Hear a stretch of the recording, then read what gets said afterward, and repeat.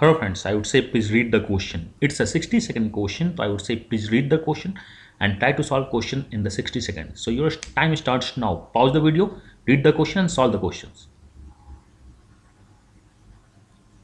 I hope you have read the question and already solved the question. Now, my time starts now. We have triangle A, B, C is a triangle.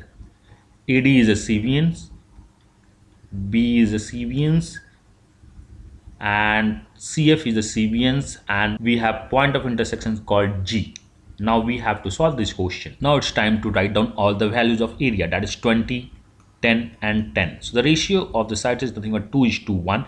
This one is 30 and 10 that is 3 is to 1. By the MPG this should be 1, 1 2 jar 2 so this should be 2. That is 1 jar 3 this should be 3. This should be 1 so side ratio is nothing but 1 is to 2. So in front of 1 our total area is 40. So our base is 3 for the 3 that is nothing but 120 and 120 unit squares are answer and we have taken less than 60 second time. I hope this one is clear. I'm again saying this is not a concept video but a solution video.